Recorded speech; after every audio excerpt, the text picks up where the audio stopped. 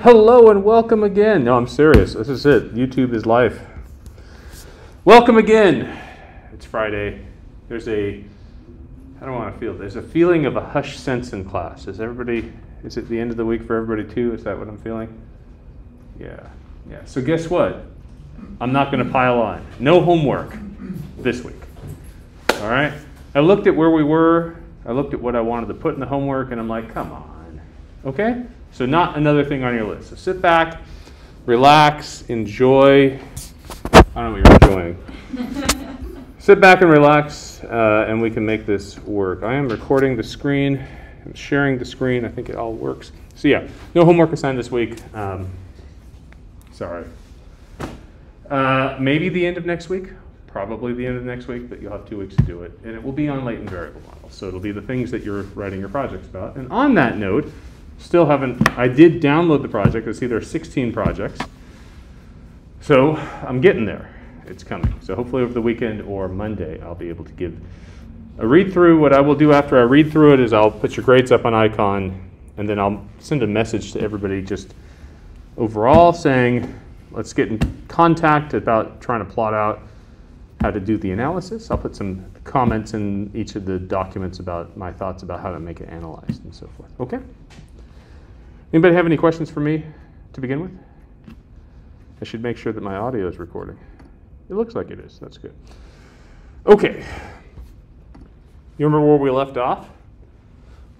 I described all of these the code for the normal distributions uh, right here. We started talking about priors.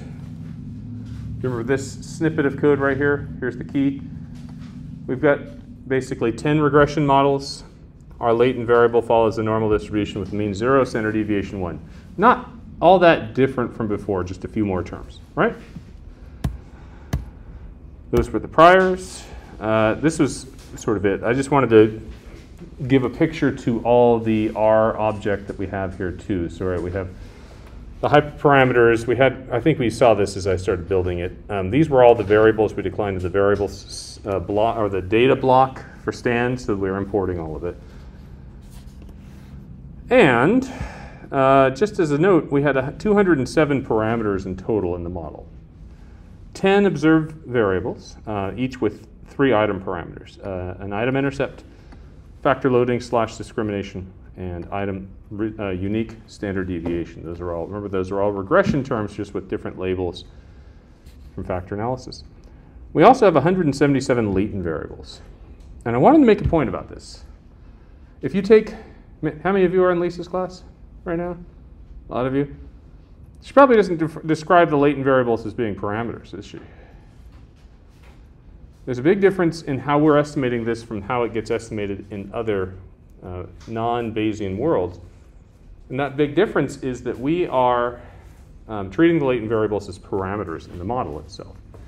And in a few slides, I'll start to talk about the posterior distribution of the latent variable itself.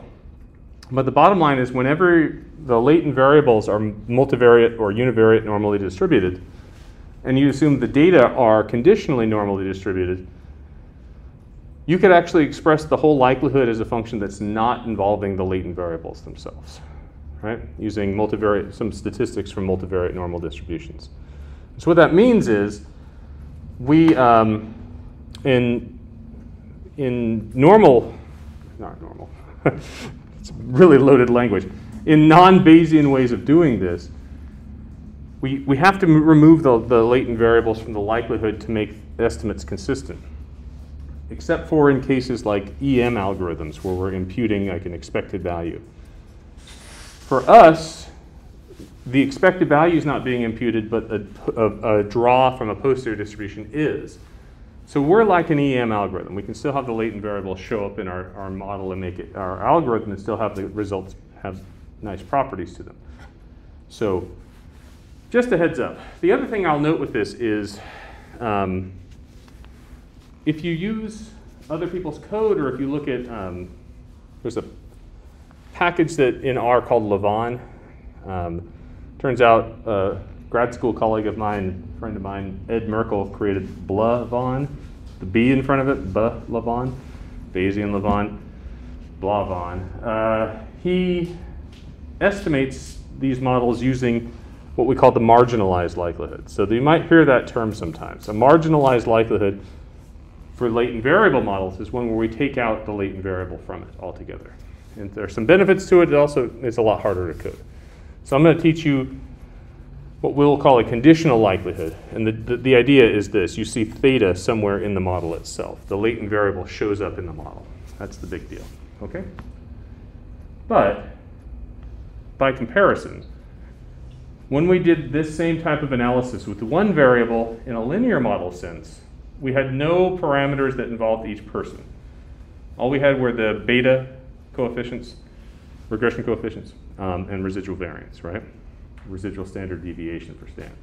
So this is a lot more stuff to have Stan estimate. So that has two different features that um, can be a little bit of a problem. One is that it takes a lot longer to run for the analysis. Not that much longer for this model, but for some models it will. Um, not only that, oftentimes we'll need longer Markov chains. We may need larger, larger warm-up periods. We may need larger uh, iterations themselves. Um, and it's not too bad in this model because, again, the latent variables are normal. The observed data is normal. Turns out normal distributions are pretty well behaved when it comes to data. They're very easy to work with. It's when we start to get into discrete categorical data that we start to see problems. So you're going to see longer chains than when we do. How are we doing with all this? I feel like I need some type of something more exciting. Friday afternoon after lunch, what's not to love? I see Starbucks. I like that. It's good. The question is, is it straight coffee or is it like cappuccino or espresso? You know? Coffee? Coffee? Oh, okay. So not, not, not entirely hopped up on caffeine yet. All right. Um, so here is the call to command stan r, right? Very much like we had before. Again, you'll see a longer set of chains here. And I'm just going to flip over to my R code to show that. Can everybody see my R code okay? And those of you online, if you can see it okay, hopefully you can. Um, here we have, right here, actually I ended up changing the warm up from the slides to what I have in my code 2 to 2000. So, but uh, that, that is the R code for it. So let's give this thing a run. You see it runs, it takes a little bit longer, although it's still not bad. 2.9 seconds versus less than a second. Not too bad, right? Um, what's the first step we do after we check a, we do run a Markov chain? What do we have to check? Convergence. So we do the same code where we look for the r hat and the maximum r hat across all of our parameters. So remember, 207 parameters, all the item parameters and all the thetas. Maximum r hat, 1.06. Is this converged? Oh yeah, this is a good result, right? So let's take a look at some numbers. I'll go back into R for those right here. Okay, so what do we have here? We have all of our mu's. Remember the name for mu? Item intercept. Right? It represents the expected value of the item when theta is zero. It turns out in this model, because we've specified the mean of the latent variable to be zero, right, this is actually the item mean itself, our estimate of the item mean. And if we were to compare that with our data, if we were to do apply x equals, what am I calling this? Conspiracy items. Margin equals 2 and function equals uh, mean. 2.367 is our frequentist estimate of the mean for the first item. 2.37, pretty close to it, right? So we'll see that the what we're doing here with our, we would expect that. We have flat priors. It looks like when we see the mean observed, it looks like the mean of our data as well too, right? So when we look at our data, if we fit a, an analysis like this where the factor mean is zero, each one of these item intercepts is the item mean.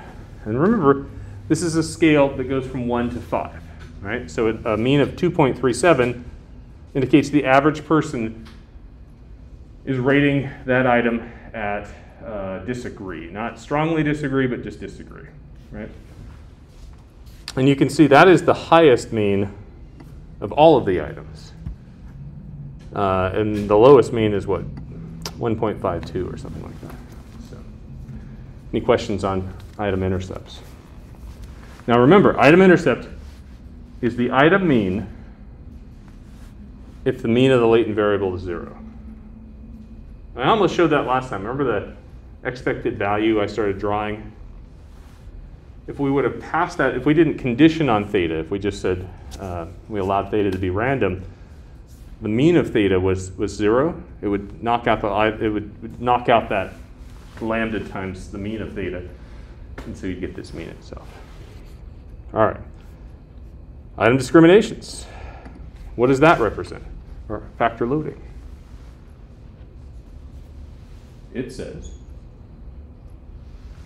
for every one unit increase in theta, we expect the response or the expected response goes up by that value, right? So a person with a theta of zero uh, would have an item expected response of 2.37 to the first item. A person with a theta of 1 would be 2.37 plus 0.74, which puts us up into like 3.11 or so, right? Or likewise, theta of negative 1 would move this down to below 2. Right? And you can take a look at all of these parameters here. Um, you can, all the other thing to take a note of this is look at the scale of these parameters. What I mean by scale is look at the range they're in, right? The highest factor loading or discrimination is 0.997. By the way, I keep re-emphasizing the two words side by side. When I say loading, I try to say discrimination too just to re reinforce these are the same concepts. But eventually I'll just drop it. Do you, do you prefer discrimination or loading? Do you care? I'm trying to translate. All right. Anyway, 0.997 is the highest. 0.673 is the lowest. Furthermore, take a look at the posterior standard deviations. That's this third column right here.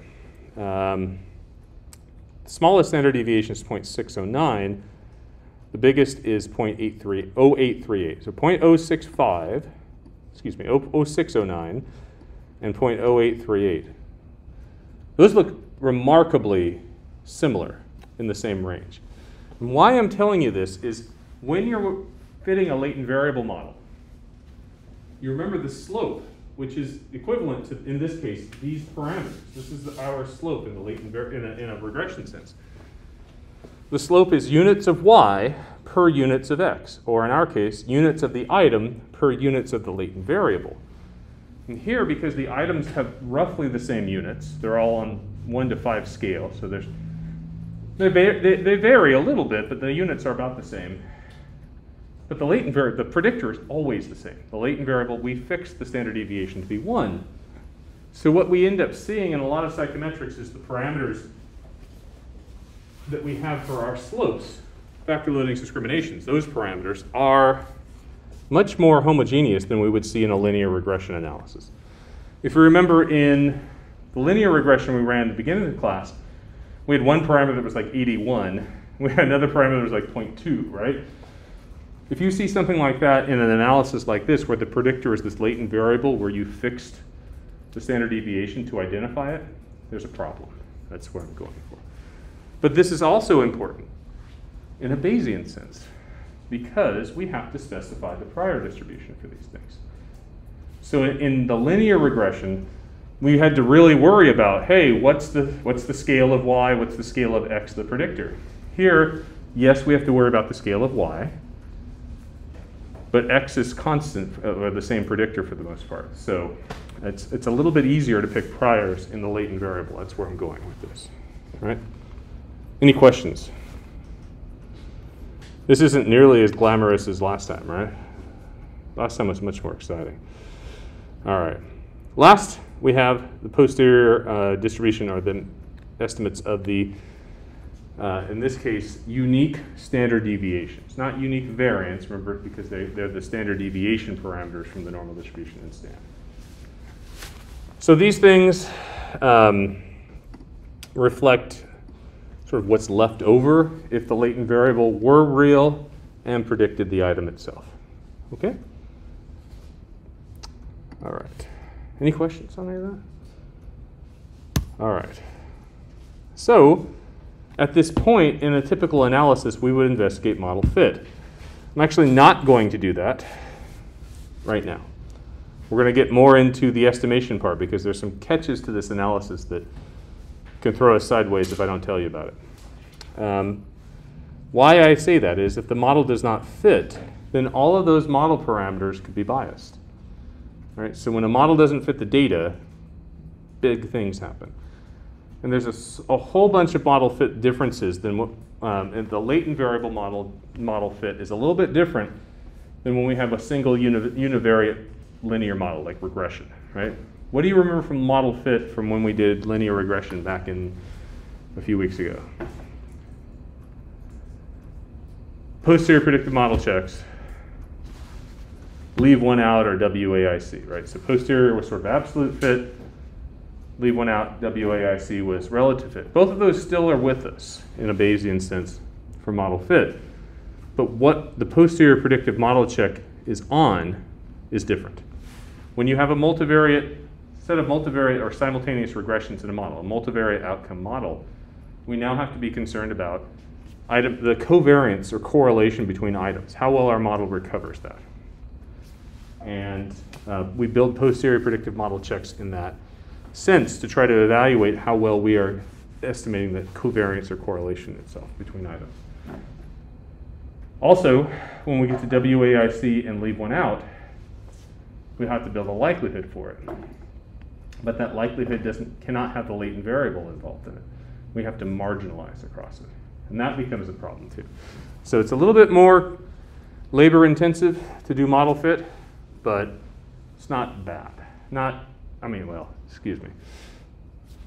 Uh, what's my spouse always say? Job security? It's job security. It's a pain. uh, it's really difficult to do. It'll slow you down a little bit, but once you get the hang of it, it'll go pretty quickly.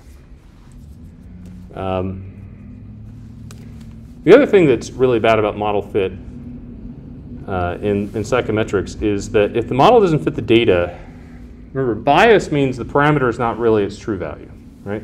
In our case, the mean of the posterior distribution, the EAP estimate of the parameter is off. But it's particularly bad also because we will see that the posterior standard deviation may be biased too, right? So I mentioned last time in um, if you, those of you who are in ed measurement, educational measurement, if you go in the, the assessment industry, like the people up the street at ACT, what do they sell? They sell theta or some derivative of it.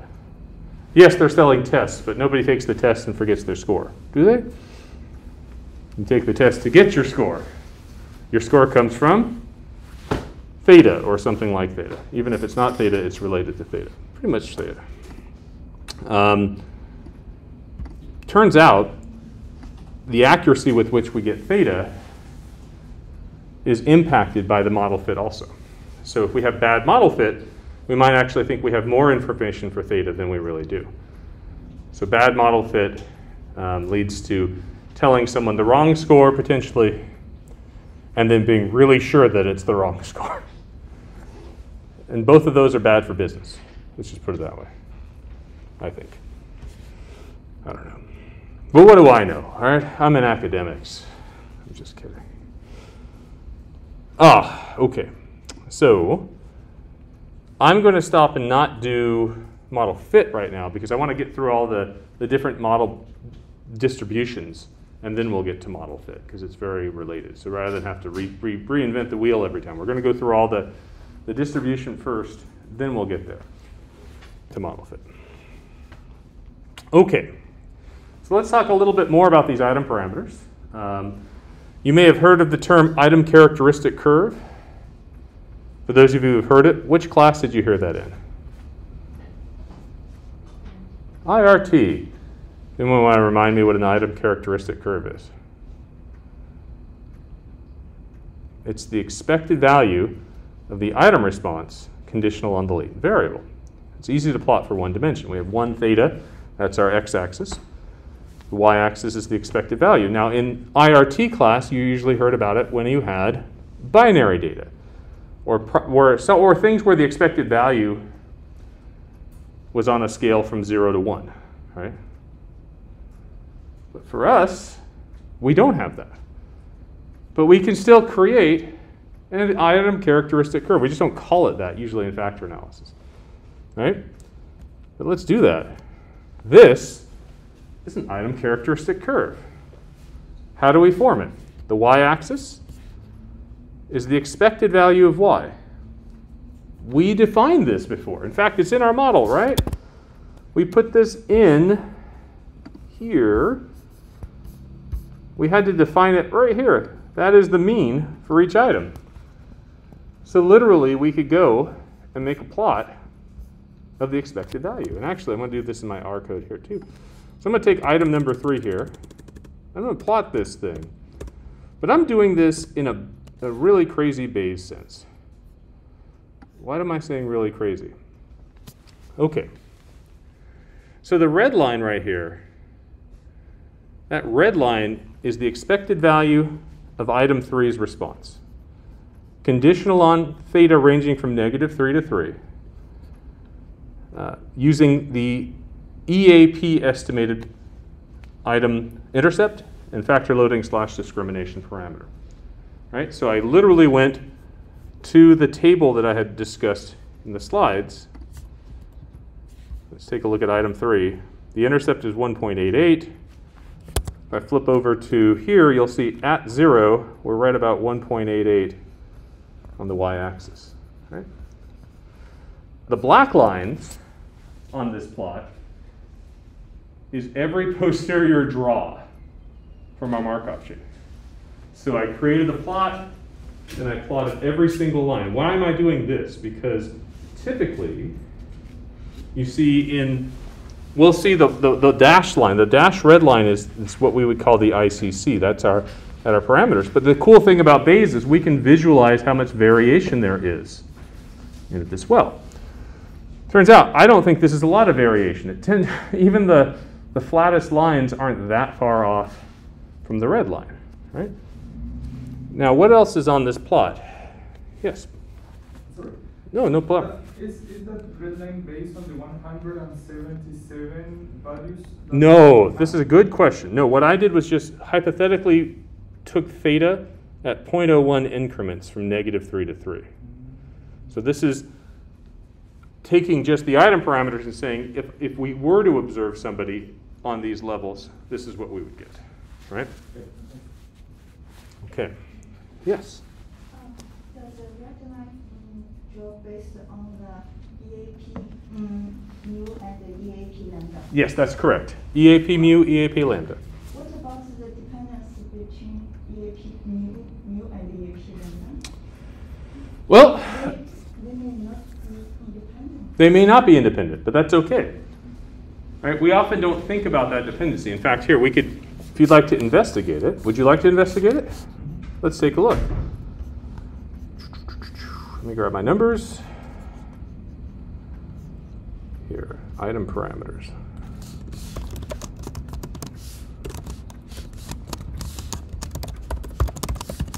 These are the item parameters right here. So I need column one and column two.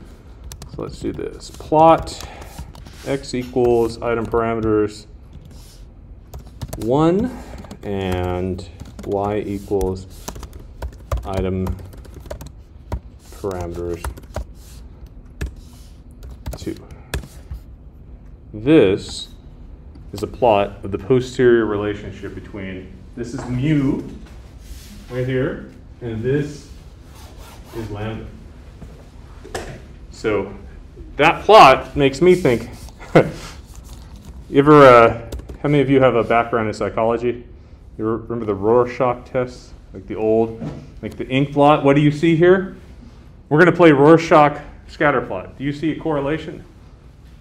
I don't really see one, but I can't really tell very well. So what I'm going to do is I'm going to estimate that correlation too. Correlation of 0.01. So, but the, the deal with this is even if they were related, the model still indicates that it's coming. There it is. This plot is still the same, right? It's just if we were to make inferences about one or more of those parameters simultaneously, we would have to consider what that correlation said. There's a very good question that you asked. Though. So, any other questions on this so far? I haven't gotten to the blue lines yet. Yes? So in this plot, mu defines the center and lambda That's it, yeah. Yeah, so in fact, we can even figure this out. Mu right here will be at its, um, the parameter is 1.88 for item 3, so we would, right at 0, that red line is at 1.88. And then at 1, the red line will be 1.88 plus uh, that value. Thank you for asking. But we are interpreting this just like we would a linear regression, is what I'm, the bigger picture. The other point I want to make is take a look at the dashed blue lines. Right? This is at the number one. That's the, the minimum number we're allowing for the item. And this is at the number five. And I'm putting that here because right, this is our, if you think of our, what we've assumed theta to follow, theta follows a normal distribution with the mean of zero standard deviation one, meaning if you think of that standardized normal distribution, 99% of the density is between negative 3 and 3. Just about 99%, maybe a little bit more than that, right? And so that means once you get past the theta below negative 1, this model is suggesting that you, we expect you to answer below strongly disagree. That doesn't fit. This is where, remember the, the imposter I had, or whatever the, the Among Us picture my son likes? That's the sus part of this, right? That is not a real good idea of what data should look like. This is not posterior predictive check, by the way. This is the expected value. If we wanted to posterior predictive check this, what we would do is we would end up sampling at random from a normal distribution where this is the mean and there's some standard deviation with it. So the range of values that we might get from a posterior predictive check would go potentially, it depends on where the values of theta end up, and you'll see that on the next slide. They're right. They actually end up somewhere right around here. But our posterior predictive check, if we we're doing just straight Bayes with this, we'd be like, yeah, that's that's really not good, right? We're going out of bounds. This is motivating why we use a discrete distribution for items like this, or why we should be using a discrete distribution for an item like this, because it really doesn't fit with what our data happen to be. What do you think? You want to see a different item? Uh, here, let, which item would you like to pick? Item 10. You got it. Be- Is that because the mean is the lowest? Let's see what item 10 looks like. So, by the way, you can play with this in the R script if you just change this to 10 and rerun this little section of code right here. Oops, I ran. There's the plot of uh, mu.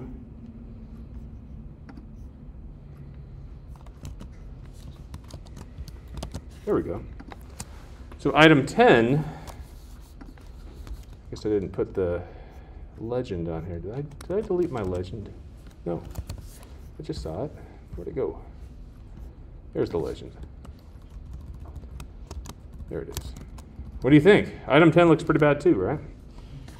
I mean, somewhere below, somewhere not even a standard devi- deviation below our average of theta, and we're saying, yeah, right? So, so it would be interesting to think about how this curve changed when we put in a nonlinear link function, right, In the analysis. Anyway, what do you think? So you can do this with regular non-Bayesian work as well, although I just like seeing sort of how much error there is in the data, right? The black lines, those, those are fun to see. Any other questions on this? You want to see any other items? All right. Wait a minute. Jonathan, I have a quick question. Go so. I, this kind of goes. We we did this with Lisa's um, recent CFA project. Yeah. So you know, for some of these questions, it doesn't actually go out of bounds potentially until like two or three standard deviations away from the mean. So is there like, I know there's not like a, a 100% right answer, but where would you start to acknowledge like, oh, maybe we should just use CFA because the chances of someone being four standard deviations away is just not plausible. I will make a very, what sounds to be very radical proposal, and that we should never use discrete items with CFA. We should never use a normal distribution with Okay. discrete items. That's, that's Okay. it. Um, there are some papers out there by colleagues I just saw in Monterey, actually, that suggest, well, you can approximate it well if the mean of the item is sort of in the middle and you have a symmetric distribution of responses, but that's a lot to, to, to get to. Um, so, why we would use CFA on data like this, particularly in this day and age where we can easily use a categorical distribution, is, is really, uh, it's just a bad choice. That's how I view it, personally. How's that answer? How many of you want to disagree with that? I love it. If you do. I mean that that makes sense. I just um I would agree with that, but I know would you say that's kind of an artifact too of like what people have understood for years and not not wanting to like reinterpret things in a in IFA framework? Yeah, I think that's there's a whole lot to it. Um, if your training doesn't involve item factor analysis, if your training doesn't involve item response theory, this is usually what you will know factor analysis, usually in an exploratory framework. Um, that's part of it. Another part of it is old habits die hard. Um, so, a lot of the training we give, particularly if you think of the people who who are using these methods but aren't trained in methodology. Who, who are most of the people who are using these methods, right? People take a class or take a whatever. Not, not a lot of training on it, and they go and use it based on what the journals say that there are. That usually means that they have the first class in this, and the first class in this still is based on methodology we don't tend to use anymore if we've studied methodology. And it's difficult. The methodology largely, like if you think of exploratory factor analysis, existed large, largely before computers, and some of the rotations we use in exploratory factor analysis were built because they could be done by hand. Uh, my, again, I mentioned him multiple times that he was a big influence on my life. Rod McDonald used to call these things devices, like crude ways of doing statistics before we had more precision instruments to be able to do so. So, yeah, it's tough. It's tough to say why it is. Um, you know, if you're, if you, you know, I'm going to teach you the ideal here. And the ideal is if the data are discrete, use a discrete distribution to model them. That's simple. However, in practice, like if you get a job where you publish or perish, and a reviewer says, "Yeah, why are you using a you know multinomial here? Just put a factor analysis into it." Well, you're probably going to have to make some trade-offs. Um, but just realize, like if you know the theory and understand why it is, and understand the ramifications of making these choices, I think that's the best you can do when I try to train you. Um, but yeah, in practice, it's a lot harder. Does that make sense? Sort of a fatal. Yeah, thank you. Other questions on this? Yeah, seriously, I'm telling you. Don't say that factor analysis is, is wrong. I'm telling you, factor analysis or normal distributions for discrete items is probably not a good choice. Yes? Um, so, you know, you, ideally you want to use like a discrete distribution for these, but if you don't have the sample size or enough people in each of those categories, would that be a reason to use this? uh, No. Sorry. Uh, I don't think so. Sample size, so yeah, there, there is a problem. And actually, this is why I love this class. Because if only there was a way we could sort of hedge our bet with prior distributions to give us some information. So yes, if you don't have a big sample size, don't have discrete categories, you're going to have to make some trade-offs, right? Don't have enough people in each category. And we're going to see that as we go forward with this. I haven't modeled these data with a nominal response model, but I'm about to because I gotta build the lecture for it, and that's coming next, or in like three models from now. But uh, we're gonna see that. We're gonna see what happens. Uh, we need enough people in a category to sort of give us parameters that bound the category itself. Um, so yeah, it could be difficult. But I, my tendency for that is to think that we tighten a, a prior a little bit, when we still allow that to, to be how we model the data a little bit better. So, but again, we're making choices though. Huh? Yeah. Or what another option would be to rescale it zero one. Like the beta. Oh, oh, there you go. I haven't thought about that. Yeah, like points out of five, something like that. Yeah. Haven't thought about that. I wonder. I don't know because if you use a beta, at least it's a more malleable distribution. There's there's a research idea for you, right? Because if you have a more malleable distribution. Um, so again, what Alfonso is talking about is if we take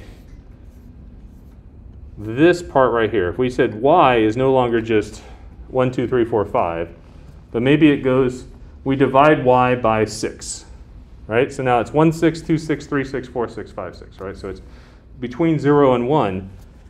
And then we, instead of using normal, we use a beta distribution. Now the beta distribution goes between 0 and 1, but it has all sorts of shapes, right? So it's a little bit more malleable. That might be something to think about. Uh, the same number of parameters. It does. That's right. It will have the same number of parameters. It might fit the data, but hey, there's there's yet another, yet another research project for you.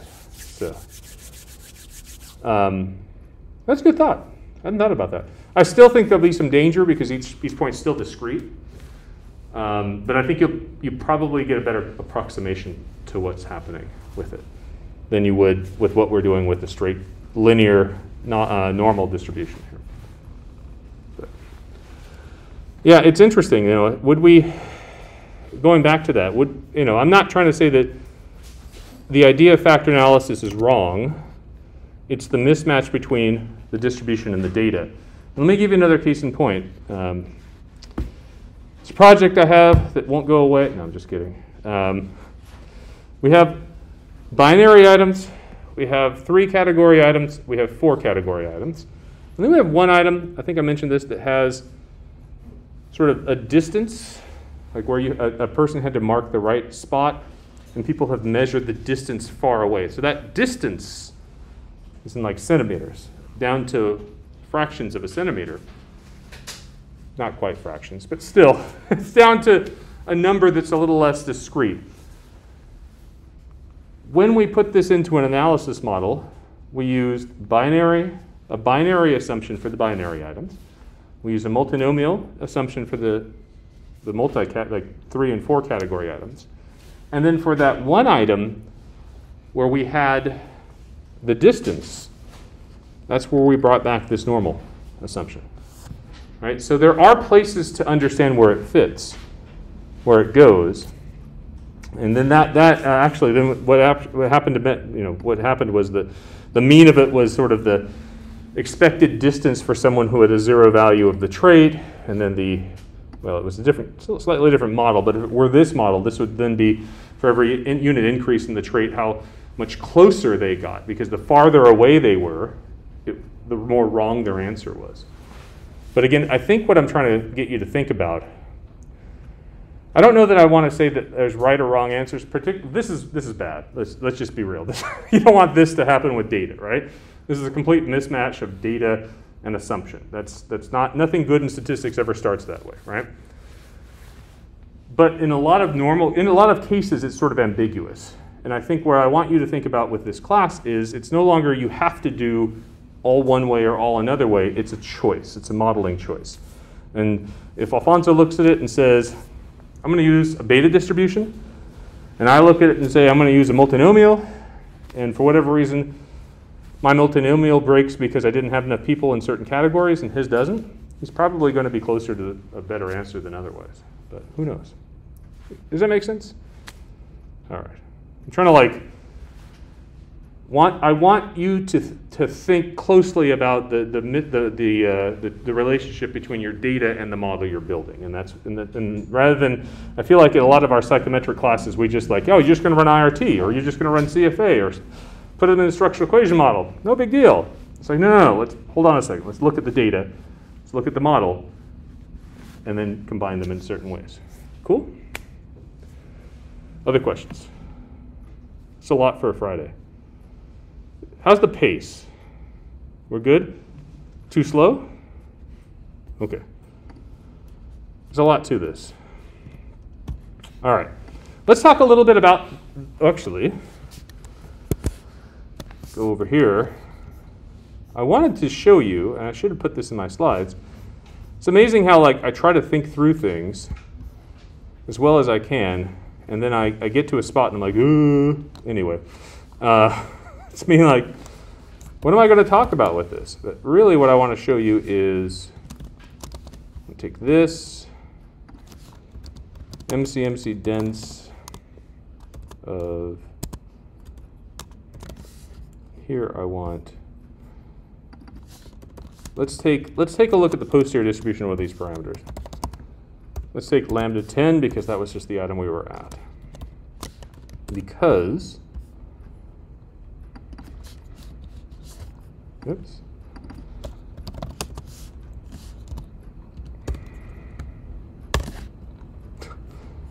Oh, des, not dense. All right, so that's our posterior distribution of the 10th factor loading slash discrimination. And I want to talk a little bit about where that comes from. How do we get that? basically, what is the likelihood that goes into that? Because I want you to think a little bit about that too. I've sort of haven't had a lot of technical discussion in this class about likelihoods and so forth, but I want to start talking a little bit more about that, particularly for those of you who, well, to be honest, work in my program or work with me. Um, we talk likelihoods a lot in what I do. Okay, so remember in in Bayesian statistics, the posterior distribution is the distribution of a set of parameters conditional on the data, right? And then we say, oh, that's proportional to the distribution of the data conditional on those parameters times the prior distribution of those parameters, right? This is all familiar. So I broke that down for one item, and I'm showing you this for the group of parameters responsible for that item. And actually, um, the comment Hong that you made about parameters potentially being correlated in posterior, this is why I'm actually showing it for all the set of parameters for, for it. So this is a posterior distribution that would be for three dimensions. We can't really plot this, right? We can't, we could plot it if there were two param parameters, we'd have like a three-dimensional graph. It'd take a four-dimensional graph to see the, like the surface of this thing, right? But I just want to think through it conceptually. So this is the posterior distribution, right? In the plot that you just saw in R, this is taking that four-dimensional thing and smushing it into two dimensions. It's just the two marginalizing, looking at it in two dimensions, right? That's lambda. So what it, what contributes to it is what's important. Here, I have, oh yeah, that's the density of the data. Well, y actually here is just the one item itself, right? Because we assume each item is independent, this item's parameters only depend, like the, the, the model data likelihood, the part, the first part of the right-hand side of the proportional to, is just that item by itself. Just it. Okay? So let's talk about the prior then.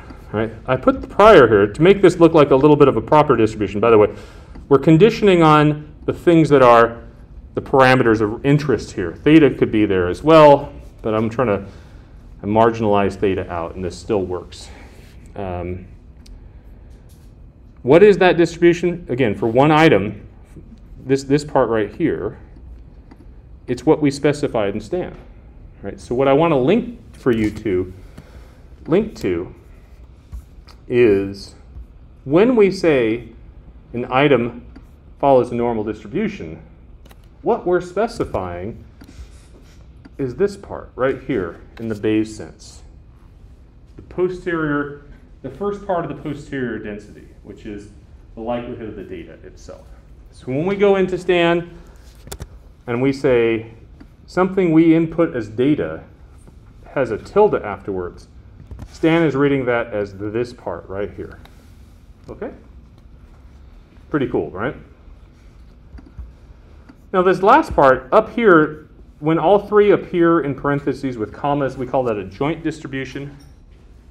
But you remember for the priors, we specified prior distributions separately. Multivariate normal for item intercepts, multivariate normal for the loadings or factor discriminations, and then exponential for um, the unique standard deviation. Because they are independent, we actually can show that the joint distribution is equal to the product of the marginal distributions. This is sort of a math stat idea. So what we've ended up doing is if we go back to Stan code, when we say lambda is multivariate normal, for one item, we're saying lambda is univariate normal. And what we just specified was that part right there. Right? When we say mu is multivariate normal for all the items, that means for one item it's univariate normal, and we just specified this prior. And then finally, when we say psi is exponential, now exponential is not a multivariate distribution, so this this code right here, remember I talked about an overloaded function last time, weird computer language. Basically, that's taking 10 univariate exponential distributions. That's what it's assuming. That means we had just specified this distribution here. And so, do you remember the plot we had in the slides of the height of the density of these things? Right? This is the, this is the density for normal 0, 100. This is the density for exponential 0.1. Right? When those densities appear here, the value of the function is the height of that line, multiplying each. Right? So when Stan is considering a, a proposal of a new parameter, it's going to multiply it by the height on the density for each of those.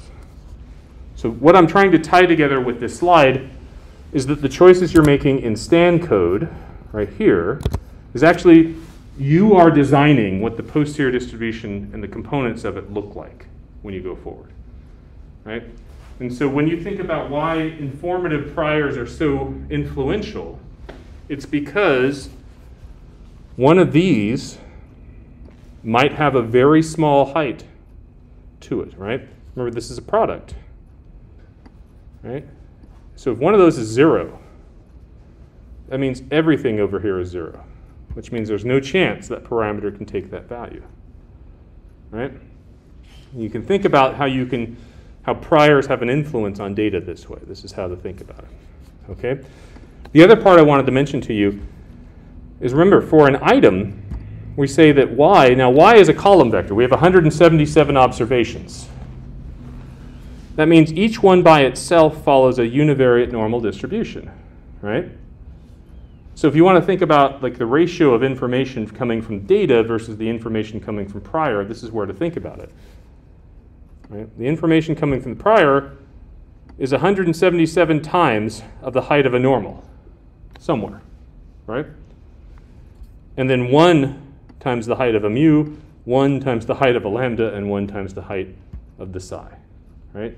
So if you go with the balance of information here, when you get more and more data, why the data overwhelmed the prior and, and start to, is because the prior is only contributing a bit of info, just a little bit of information, so long as it's not overly informative, right? And so the, when you choose priors, think of it that way. Why am I choosing it this way? I'm choosing it this way because it's sort of the balance of the data I have, 177 observations, which by the way is not large for psychometrics if I ran over to ACT and said, let's do ACT with 177 people, they'd laugh me out of, out of business, right? That wouldn't work, right? But you can see the point of, that I'm trying to make. Like if you're thinking about what's informative versus what's not, it's all a matter of relativity. Like what is the, how much data do we have? How much signal in the data are there? And how much, how much, how much, you know, what are you forcing the density of the prior to look like? Yeah. Um, so, for example, for Stan, is it is it computing the, the, the, the joint posterior at the item level, or is it doing it at the parameter level? I, I haven't got, I don't remember. I read the, pleasure reading. I was on vacation. I read the whole manual, and at one point I, re- I, I knew this. I'm not sure. In building the algorithm on the um, on the coding side, we talk about this as blocking, like where you choose to look at the analysis parameter itself. So I'm not entirely sure where this where it's picking in. I'd like to think it's parameter part parameter, in which case uh, this would simplify a little bit. You know, if we're looking at mu only, we'd only write this as a function of mu. We condition on the, the current values of the, the other parameters in the model itself at that time. So it still would work out to just be a function of mu and then the prior for mu for it. There's some benefit to doing that. However, um, it's difficult. so, I'm going to give you too much information here. CmdStanR allows you to, uh, so RStan uh, allows you to run each one chain per core on your, on your machine because the chains are independent. And independence in statistics means you can calculate something at the same time. When you have a joint distribution like this, when you have three parameters, there's no guarantee that this posterior distribution is independent. So you couldn't break this into three independent runs simultaneous. Right? So the question then becomes in a coding sense, what's more efficient? Is it more efficient to look at three simultaneously or not? However, in this model, when we specified the items, the items, because we're specifying each of them as univariate normal, we just define them to be independent conditional on the parameters they have. So we could, in theory, split up each item separately, do them all at the same time, where item one's parameters aren't informing item two's parameters. That I don't know exactly. Yeah, I think that's what I was asking. Yeah. I think it's- so there are some in, in a Markov chain for psychometric algor- um, for psychometric models. You could actually do this. Um, let me get to my slides. Uh, if this, if this, is this too much information? Okay. Like if you run your chain, you could do the item step, right? And this item step right here could split things into each item. One, two, ten. So all these are separate, right? And then you collapse them again, right, into the same form. So you, you go out, you get new parameters, you bring them back, and then do the person step. And then each person is actually independent with this model too. So we can separate that too. So we had a we had a computer that had 177 processors. When we get to the first item step, we could use 10 of those, use do all 10 items separately, all at once. Bring those item parameters back. When we get to the person step, we do all 177 people separately, all at once. That make sense? And, and so when you see CmdStanR, it actually has a feature called within chain um, multi-threading. I don't know how to describe it. There's an option in the sampling. If you go look in the, the options list for sample, and one of those options is called MPI. MPI is a standard we use to distribute processes that have shared memory. so it's like a multi-threaded process, and that's where you can not just run um, separate chains, meaning different memory, different cores, but then different cores, same memory within. Anyway, long story short, long time ago, it's like 2005. I was I like coding, right? So I was uh, I was playing around with this with a student where we tried to see, and at, at that time, in the way we coded things, it was really inefficient to multi-thread a, a very small model like this. There's an overhead for splitting the processing that goes on. So it, um, depending on the size of model, at some point it makes it more efficient to do within chain multi-thread simultaneous to between chain multi-thread. But uh, I, I don't know. Anyway, too much information. I've lost you now, right? How many of you care? No. Do you even care? No, just kidding. Blah, blah, blah. I know this answer. Other questions? Yeah. Um, if we are assuming that all of the different items are informing us of the common factor, like underlying factor, why are we assuming um, parameters for each? Ah, that's the, so that's a great question. We are actually not assuming the, the parameters are independent. What we're specifying is that their prior distributions are independent. So, so this is the impact of prior versus the result. And, and we, there's nothing stopping us from creating a prior that, where the parameters might be dependent. But the hard part is, I don't know how to do that. Think of it this way. In a linear regression, let's imagine we had two predictors. Actually, no, one predictor. This, is real data. We have an intercept, we have a slope. What's the correlation of the intercept and the slope in a linear regression? Like a prior correlation? I don't know. I don't even know what to say for it. It's very difficult to say. So generally speaking, for um, most of our parameters, we will assume the parameters have independent priors. But then once we analyze the data, it may, they may or may not lead to parameter results where the parameters have independent posteriors. Okay? Now, why, actually going one step further, probably too much information again, but I like this, this plot. This was mu on the x-axis, lambda on the y-axis. The only time we would really need to worry about whether there's dependency there is if we're making some linear combination of mu and y, and we want to talk about their distribution. Um, so for instance, if we take the mean, the EAP estimate of the y-x-axis and add it to the EAP estimate, uh, estimate of the y-axis, then we want to figure out what like a standard error for, is for it, then it's the mean of one plus the mean of the other plus two times the covariance between the two. So we have to worry about it there, but it's usually not um, something we worry about for one iteration of the chain. Too much information again. It's TMI Friday. Anybody want my bank card number? Too much information, right? All right, what's up? Next. Okay. Should we talk about theta a little bit? Get ready. Buckle those seatbelts, folks. Turn on the airbags.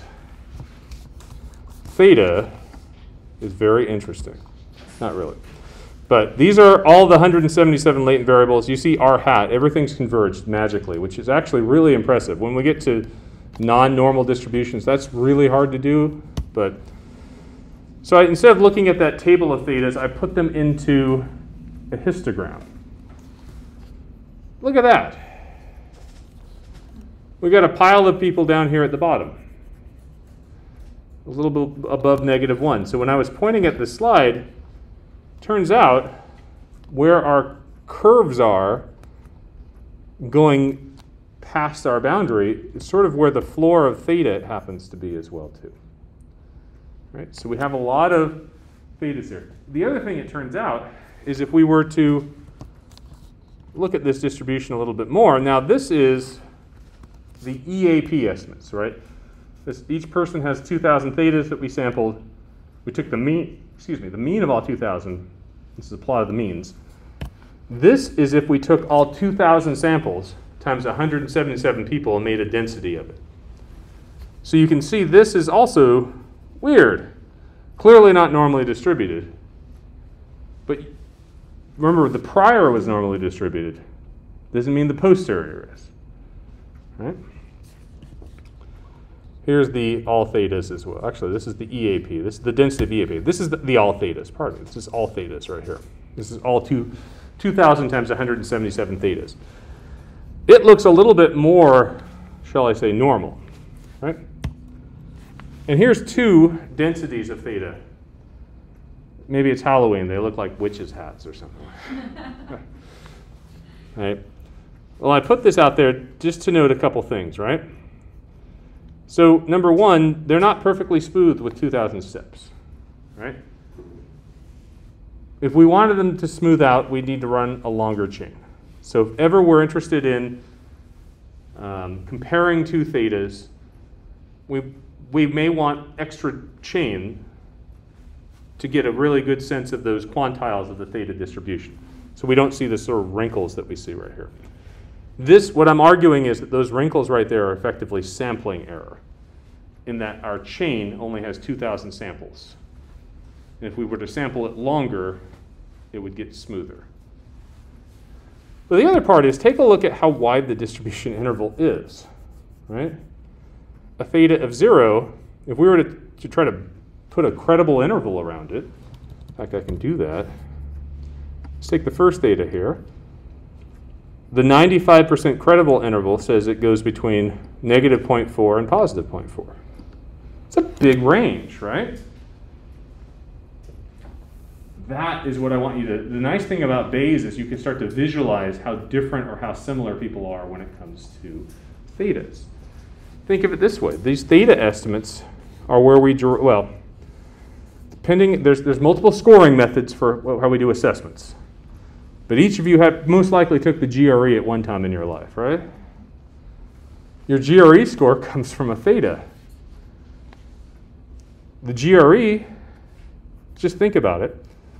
Uh, you have to get a certain score. I talked about this in class, right? The minimum score, I think we even said this, like 300 is it? Or I don't know, the sum of the two. I don't know what the minimum is, but you know, you could think about it. If you have a person whose EAP estimate is right at the minimum, I mentioned the probability they're above it is only 50%. We'll just draw the minimum on that, right? That's how that works. The other part of it is, if you're ever in my shoes, and you, every year you get, it's nice to have students want to come to work uh, and study here, right? We get applications. Some of those students we want to put forward for scholarships. In the scholarship room, they want to see that GRE, and now we're comparing students who have GREs that are like one or two points off is that a significant difference? Significant in a meaningful way, right? The effect size of it is very small. So in fact, one of the motivations, GRE used to have a different score scale. It used to go by 10, 10 point increments from 200 to 800 like SAT does. One of the rationales they used to go for the one point increments is that people were making too many decisions. If somebody had like a 600 versus a 590, they said the 600 was much better, but you couldn't say that right, with the data that we have. So when you look at the thetas here, these are the scores you're talking about with people. And for most assessments, this is a 10 item assessment, it's not very long, right? This is why we need lots of data to make comparisons, we make decisions about people. How are we doing? Here's another plot that's interesting. This is the expected value, the EAP estimate of theta, by the standard deviation of theta, right? This is the kind of the inverse of item information curves or test information curves, right? Remember, in, in IRT, a test information, well, it comes from a different, it, it's formed differently, but you can think of it this way, right? It's precision by location. What is it telling us here? Well, if you look at this, what's, this is a plot that blew my mind. Because if you run a factor analysis in a frequentist approach, right? This is flat. This is not curved. And I'll show you why in this another set of slides. Why it's curved here in a Bayes sense comes from variation in our chain. In a frequentist sense, we calculate this with point estimates, fixed point estimates. For Bayes, we're calculating this for every step of the chain. And it's just like when we looked at, um, remember the standard errors of beta in our linear models? They were different than what we would find if we found standard errors in frequentist settings. And that was because we allowed the residual variance to, to shift. This is what's happening here. There's variation in our parameters in our model, and that variation is showing up in our precision of theta.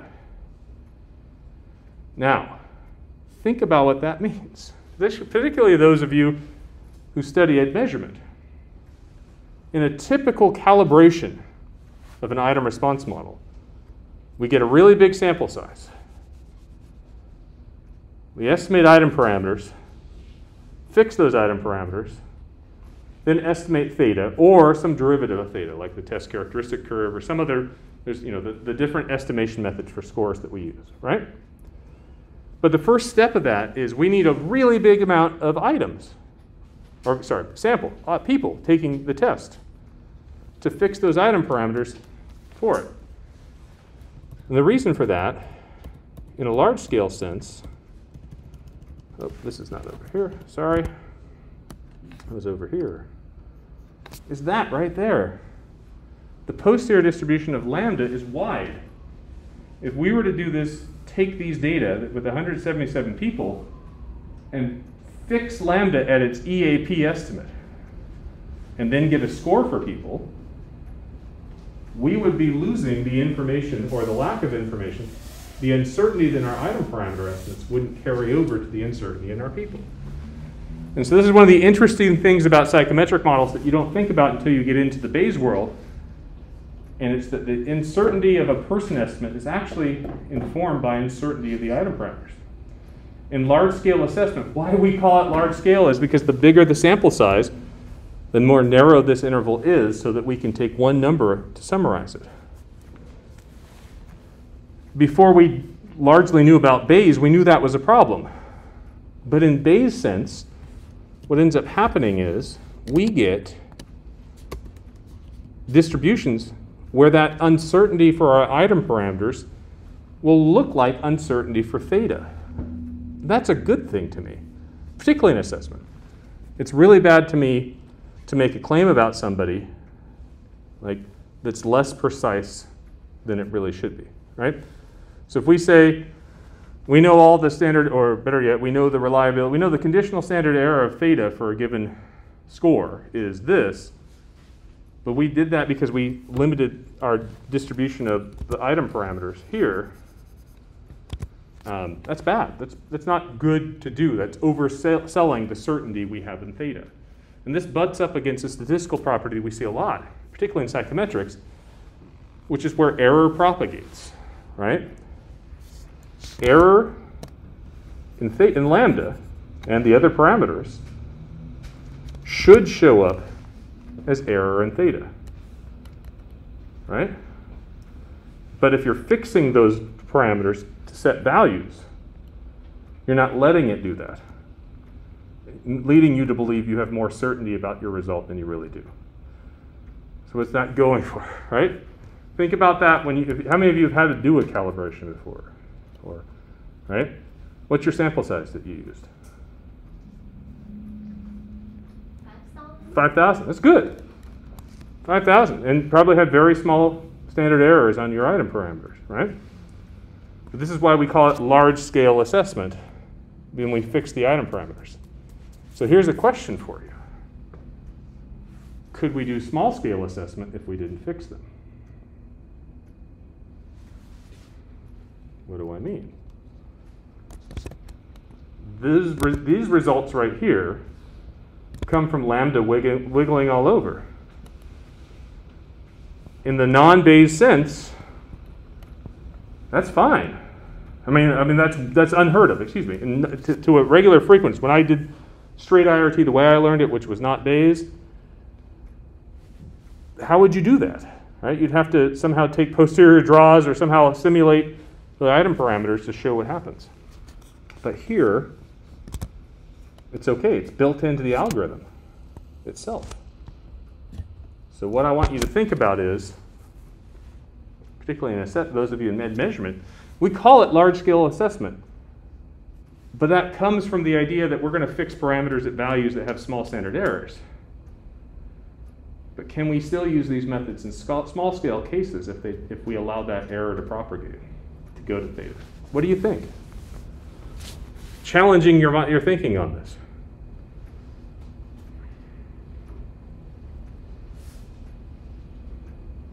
By the way, I'm not saying large scale assessment is wrong. In fact, why we call it large scale is to prevent this from happening, right?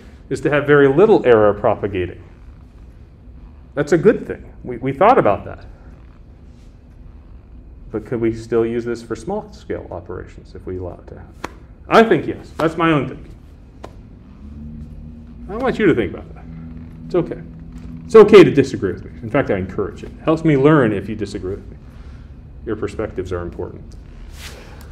All right, last time, last, last part about theta. This is the total score for each person. I just summed up their 10 responses. This is the theta estimate.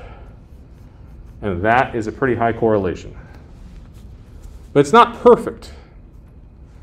Right, by the way, this is the EAP theta. I should have put expected value of theta, but I got lazy because I'm looking at the clock and I'm like, I'm never going to have slides for class.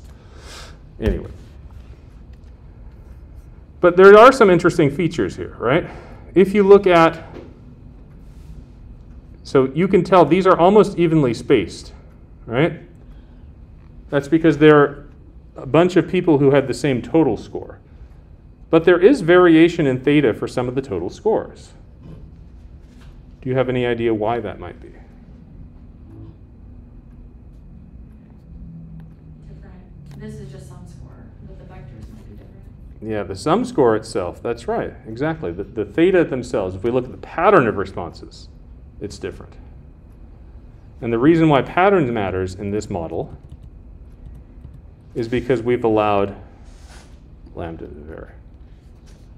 Right? Actually, technically speaking, I know this sounds a little crazy, it's because lambda varies from item to item. And psi varies from item to item. If we were to estimate this model with one lambda and one psi, what we would get here is near perfect correlation. I'll show you that later. If you want to play with that on your own, because it's a weekend coming up, why not? What, a, what better thing is there to do than to, to fix lambda and psi, right? Seriously, actually, I would play with it. Try that out, see what you think. This is sometimes called the congeneric items model in, in factor analysis, meaning each item has its own set of parameters, as opposed to a tau equivalent items model or a parallel items model. The tau equivalent items model has a different variance for each item, but the same factor loading. And a parallel items model has the same factor loading and the same unique variance in a model. And the, believe it or not, the perfect correlation between, per, uh, between score and latent variable only comes under parallel items. Now you may say, what's the big deal? The correlation is, is small. Yes, the correlation is small, but think of it this way. If this was an important assessment and you had a total score, look at these people right here where the total score is like 22. The range in theta goes from a little below zero to a little below one. That's a big range, right? You're saying all these people have the same score, but who knows? I don't know. Anyway, it's, it's precision. So, all right. Where do we get the posterior distribution of theta? I only have like two minutes left, but posterior distribution of theta, we can draw that out too, right here. Theta given y. This is the theta step. So I believe what's happening, when I've written these algorithms, I do the item parameters, sample those within one iteration, hold those at their sampled values, and then I go to theta separately. So I only write this as a function of theta, even though the item parameters are held at the values that I just sampled them to be.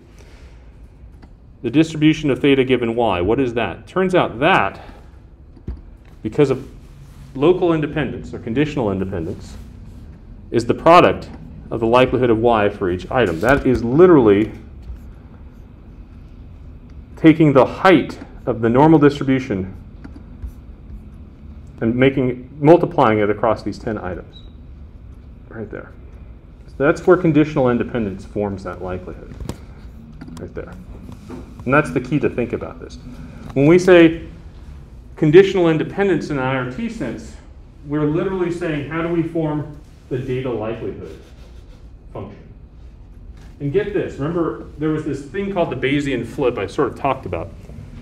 This function right here is notated differently, but if you're not using Bayesian, this is the same likelihood you'd use in a frequentist sense to maximize conditional on theta. The right-hand side is identical. How we notate the left-hand side is different. It's called the Bayesian flip. One's the likelihood of the parameters given the data, one's the likelihood of the data given the parameters. And it's like the weirdness of all of this, but it's the same on the right-hand side. All right. How are we doing with this? This is interesting? You this is the psychometric content, right? I don't want to just gloss over it. If you really want to have some fun, take a look at my scores lecture. The part I was going to show you was um, we can actually derive what the distribution of the data are, the marginal distribution, but we can also derive the distribution of the factor itself using some matrix algebra. The mean of the factor is that, the covariance matrix is that, the slides tell you that, and you can put a hashtag on that, WTF Templin. So if you remember anything about this class, it's WTF Templin. For those of you who don't know what WTF is, it's what, the, and an obscenity. What the? For real? No. I won't say it in class. Professional. Thank you for your time. Have a great weekend. Uh, no homework, none of that stuff, and I hope to be in touch with project. All right. Thanks everybody online. See you next time. Take care.